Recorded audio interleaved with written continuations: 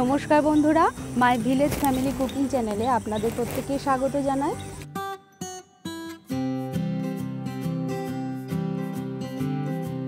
আজ আমি আপনাদের সামনে এই প্রচণ্ড গরমের হাত থেকে মুক্তি পাওয়ার জন্য খুবই স্বল্প খরচে চকলেট বার এবং চকলেটের বাটি আইসক্রিম করে দেখাবো। চকলেট আইসক্রিম আমরা কে না পছন্দ করি?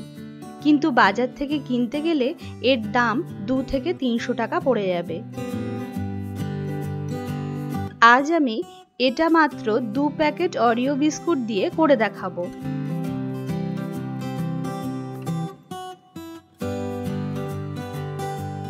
এত স্বল্প খরচে যে আইসক্রিমটি তৈরি করা যায়, সেটা আপনি না দেখলে বিশ্বাসই করতে পারবেন না।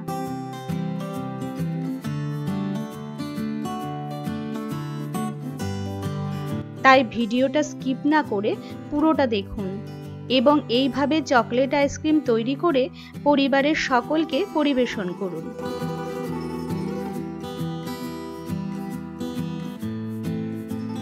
এই গরমে ঠান্ডা ঠান্ডা এই আইসক্রিম পেলে সবাই খুব খুশি হবে আর মন খুলে আপনার প্রশংসা করবে।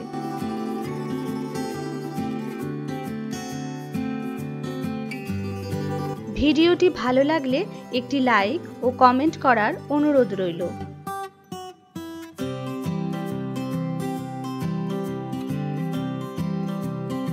আর কথা নয়, চলুন তাহলে আজকের চকলেট আইসক্রিম রেসিপিটা দেখে নেওয়া যাক।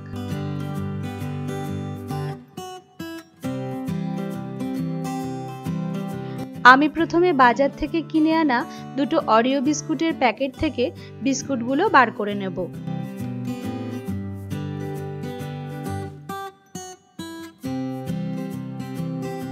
এটাই আমার মেন ইনগ্রিডিয়েন্টস এটা দিয়ে চকলেট আইসক্রিমটা তৈরি হবে।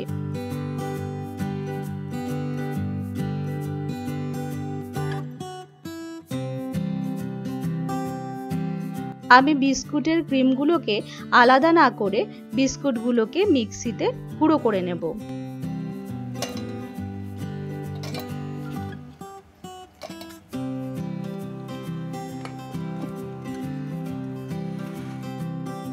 আমার এখানে বিস্কুটগুলোকে গুঁড়ো করা হয়ে গেছে। দেখুন, ঠিক এই রকম হবে। আমি এই গুঁড়োগুলোকে একটা পাত্রে নামিয়ে নেব। এবার আমি এখানে তিনটে কাঁঠালি কলা ছোট ছোট টুকরো করে নেব।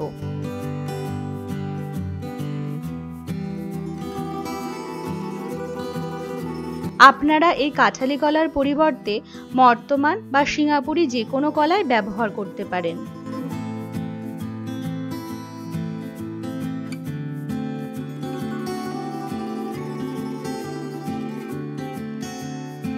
এবার আমি এতে সামান্য পরিমাণ গরুর দুধ দেব। তারপর এর একটা পেস্ট তৈরি করব। আমার এখানে পেস্টটা হয়ে গেছে। এবারে আমি একটা প্যানে তিনশো এম গরুর দুধ গরম করে নেব।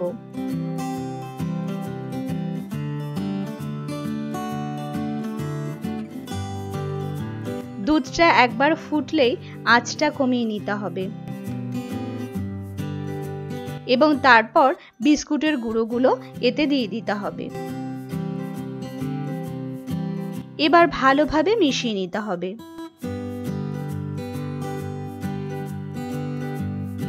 এরপর আমি এতে হাফ কাপ সুগার পাউডার দেব। আপনাদের কাছে এই সুগার পাউডার না থাকলে চিনিটা মিক্সিতে গুঁড়ো করে নেবেন। তবে চিনি না গুঁড়ো করলেও চলবে। সেক্ষেত্রে একটু বেশি সময় ধরে নেড়ে যেতে হবে, যেন চিনিটা ভালোভাবে গলে যায়। এবার আমি এতে কলার পেস্টটা দিয়ে দেব। তারপর আবার ভালোভাবে মিশিয়ে নেব। এখানে একটা কথা মাথায় রাখবেন। এটাই কিন্তু আপনার ফাইনাল মিশ্রণ। এটা দিয়েই আইসক্রিমটা তৈরি হবে। তাই এতে মিশ্রণটাকে ভালোভাবে মেশাতে হবে। না হলে কিন্তু ভালোভাবে আইসক্রিমটা জমবে না। আপনারা চাইলে এই মিশ্রণটাকে একবার মিক্সিতে ঘুরিয়েও নিতে পারেন। এতে মিশ্রণটা ভালো হবে। আমার এখানে মিশ্রণটা রেডি দেখুন, মিশ্রণটা ঠিক এই রকম হবে। এবার আমি প্রথমে মিশ্রণটা একটা প্লাস্টিকের কাপে ঢেলে নেব। এই ধরনের কাপ না থাকলে আপনারা যে কোনো পাত্রে রাখতে পারেন। এবার আমি এর ওপর দিয়ে মিল্কি চোকো চিপস দিয়ে দেব। এরপর এতে কিছু চকলেট চোকো চিপস দিয়ে দেব। এগুলো আপনারা যে কোনো শপিং মলে পেয়ে যাবেন। এগুলো অপশনাল। আপনার কাছে না থাকলে দেবেন না। তাতে আইসক্রিমের টেস্টটা কোনোভাবেই কম হবে না। বাটিটা ঢেকে দিতে হবে। এরপর আমি বাকি মিশ্রণটা আরেকটা কাচের পাত্রে ঢেলে দেব। আমি এখানে কাচের পাত্র নিয়েছি। আপনারা যে কোনো পাত্র বা টিফিন বক্সেও আইসক্রিমটা জমাতে পারেন। এবার আমি এর ওপর দিয়ে কিছু মিল্কি চোকো চিপস ছড়িয়ে দেব।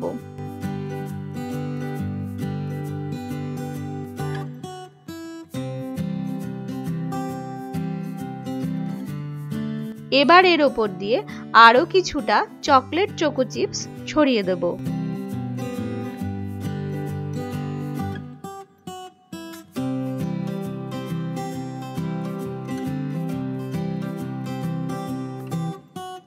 এবার ঢাকনাটা দিয়ে পাত্রটা ঢেকে দেব। এবার এই দুটোকে ফ্রিজে চব্বিশ ঘণ্টা রেখে দেব। চব্বিশ ঘণ্টা পর আমি পাত্রটা বের করেছি।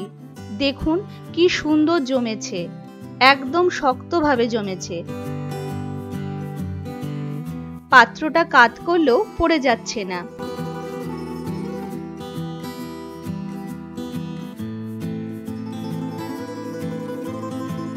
এবার আমি একটা চামচ দিয়ে কেটে নেব। ভীষণ সুন্দরভাবে জমেছে। আপনারা অবশ্যই এইভাবে একবার করে দেখুন।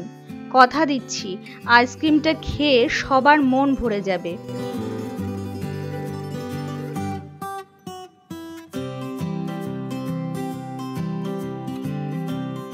এই গরমে ঠান্ডা ঠান্ডা বাড়ির সকলকে পরিবেশন করে দেখবেন সবাই ভীষণ খুশি হবে। আমার তো এটা খুব প্রিয়।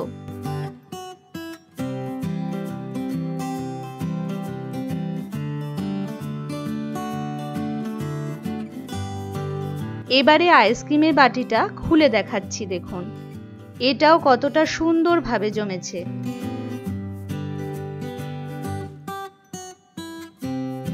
এইভাবে করলে আপনার আইসক্রিমটাও ঠিক এই রকম ভাবেই জমবে।